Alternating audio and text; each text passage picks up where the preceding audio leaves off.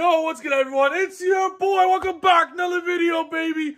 Today, we got a guest upload. My boy, Yacine. Straight from Montreal, Ottawa, Canada. Let's go. World, baby. Let's go. And on top of that, you tell Ita too. So it's twice the greatness, twice the fun. Let's get started. But before we do, I want you guys to smash the subscribe button.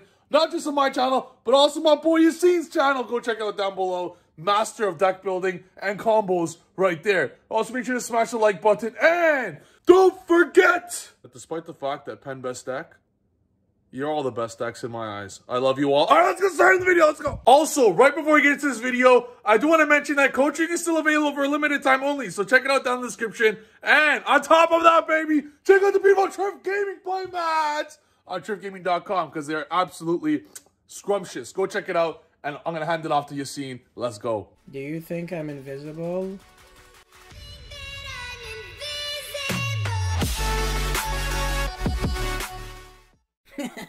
Actually love that song. Anyways, whoa, what's going on? My name is not Steven, it's Yacine, and I'm going to not show you guys how to play Metalfoes today, but Virtual World, yes, well, we're actually going to not use Pendulum Scales for like the first time in history, but whatever. Steven basically told me, you know what, can you break the deck for me? I was like, you, you know what, you already know it, say no more. And before we get into anything video related, make sure you subscribe to Steven's channel, he's the GOAT, and after that, maybe consider going to my channel, Yasin656, for more combo videos, deck profile, card reviews, testing, etc. And let's get right into it. Okay, so I'm going to only show you guys one combo alongside the deck profile. So of course, as you can see, my hand is pretty good. I have Lulu with Lily, Gamma, which is just one discard at the end of the day. It's not really Gamma. And we also have uh, Lost Wind, which is really nice in this situation. You're going to see why soon enough. But yeah, we're going to go normal Lulu and then special Lily. Our opponent has Nibiru, but we're like way too cool to get Nibiru'd. And we go for the double Foolish Burial, Chuche, make Lulu level 6, and we also going to be, uh, we're going to be searching our Lulu, but that uh, this time will be special summoning itself so not like a, a, wasted Lulu on your normal summon. And now you're going to be revealing the Lulu, so send the Xuanwu to search the Kowloon, and you're going to make Tzolk'in, and then after that, uh, set Kowloon in order to summon Crystal Wing. And uh, yeah, this was summon number 5, so Nibiru just doesn't do jack here. And then when you flip that uh, Kowloon, you're going to be activating Chuche from your deck. Xuanwu affecting Grave, revive back the Lily, and discard one card, so very similar to King Long. It's not like Chuche that is kind of free. These two cards, since they generate you like physical advantage, you do have to kind of compensate by discarding one card after that, which is kind of unfortunate, but without these uh, kind of drawbacks, the cards would be a, a, little too overpowered. But yeah, discard the Gamma or whatever discard you have, it doesn't matter. And then you're going to be synchro summoning for Shen Shen, so we didn't have access to Muddy Mudragon in this instance, but it doesn't matter because this Ultimaya Tzolk'in is actually going to be generating you card advantage, literally. you're going to see why. But yeah, you're going to pass turn here. We didn't go for GG, so no end phase Scarm. Scarm from the grave. But yeah, as soon as our opponent summons from the extra deck, look at this. Not only do we get back the Lost Wind, but we set a card during the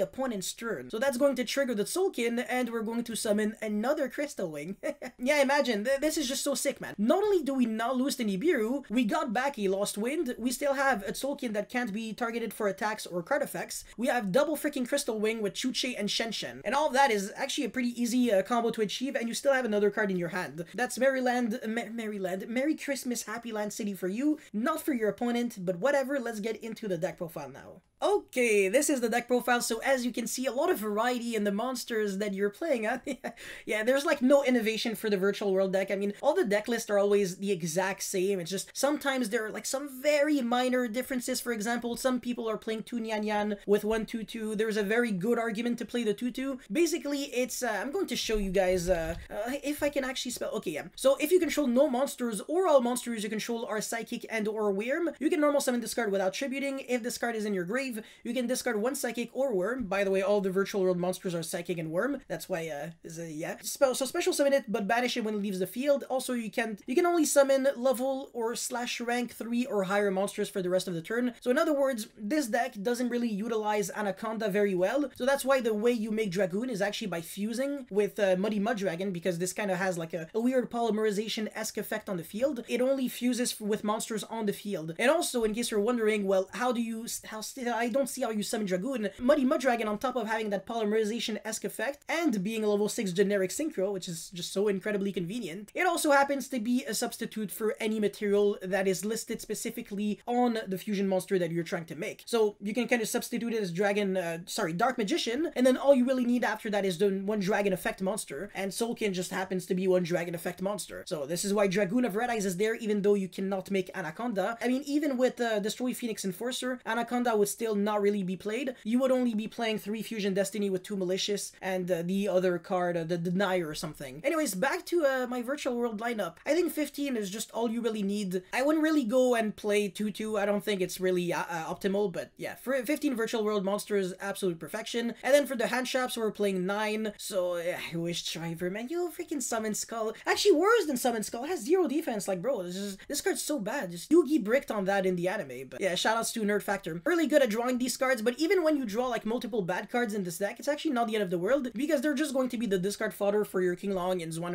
anyway, so yeah, who gives a shit? Like, Desires into double Desires is almost like a good thing. like, I want it to happen, you know? Not, not always, but sometimes. Sometimes, but not all the time. That's pretty much it for the majority of the deck, and then 3 Kowloon, no shit. You wanna, you want your deck to be as consistent and powerful as possible, 3 Desires. Okay, now some people might, like, genuinely ask why you're not playing Pot of Prosperity. I actually think it's not that great. It conflicts with a lot of cards in your strategy. Like, it conflicts with Charge Warrior and Coral Dragon, because you can't draw, like, the turn use Pot, Pot of Prosperity, which is, like, really bad, and your extra deck, for the most part, is actually really useful. And Pot of Desires, yeah, sure, even though you're banishing 10 cards, it looks, like, really expensive. Yan Yan has a really neat effect where when it's banished, you get to shuffle back one of your banished cards into the deck. Really easy to banish, by the way. Just when it revives back itself from the graveyard, because you summoned a level 3 or higher monster, it gets banished while it leaves the field. So yeah, pretty pretty good uh, synergy right there. Synergy, synergy. But yeah, when called by the grave, no cross out. I actually don't recommend it. You would have to kind of resort to playing like shitty ratios of hand traps, like one Nibiru, one Lancia, and like sketchy things in the main deck, and I'm not really down for that. So nah. Two emergency teleport. I think this is just so sick, man. It's a step into the right direction because this deck only loses to itself. It doesn't really lose to anything else in the meta. Like yeah, it's not really like Char Brigade that actually has a really bad matchup against uh, Brandish, Sky Striker. This deck doesn't really have any bad matchups unless your opponent's like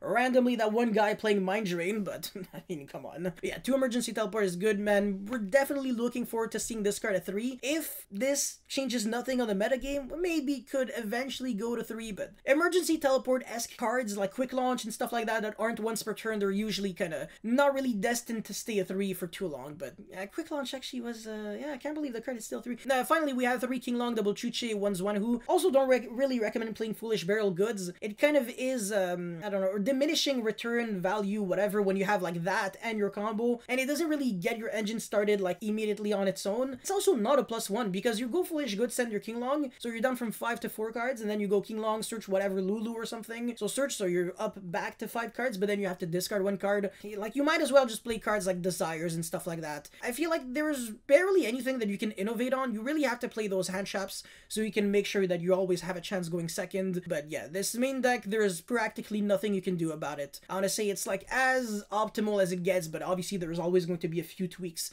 that you're going to be able to do like here and there. But yeah, uh, for the extra deck now, we have Dragoon or Invoke Caliga if you're short on budget, but you can actually argue that Invoke Caliga is better than Dragoon. This is also something that I explained in my own video because uh, I already kind of made a deck profile on my own channel. It's no like less in depth than the video that I made, so don't worry if you haven't watched my video, that you're not really missing out on anything. Is that maybe the combos, but that's not really relevant. Yeah, Invoke Caliga is just a great option, and yeah, you don't really have to play Dragoon. Uh, Ultimaya Tzolk'in with Shen Shen, Vermilion Dragon Mech, Crystal Wing. If you want to play the Lost Wind route, you could actually maybe cut some hand traps and then maybe main deck three Lost Wind. So you could play, I don't know, two Crystal Wing Synchro Dragon with, I don't know, what, Void Ogre Dragon or Black Rose Moonlight Dragon.